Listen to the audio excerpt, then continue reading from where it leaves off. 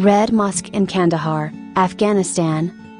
Kandahar or Kandahar is the second largest city in Afghanistan, with a population of about 557,118. Formerly called Alexandria Arachosia, the city is named after Alexander the Great, who founded it in 329 BC around an ancient Arachosian town. The Red Mosque has a very old and long history before Afghan war.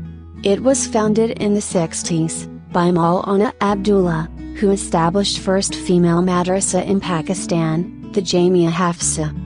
Walk around Red Mosque to examine its green walls and red roof, visible from a great distance. Explore the nooks and crannies of the mosque, but be careful not to disturb the worshippers. Mind the local customs, which include dressing modestly and the removal of shoes at the entrance. Like us and join us at Xtreme Collections for more fun and knowledge.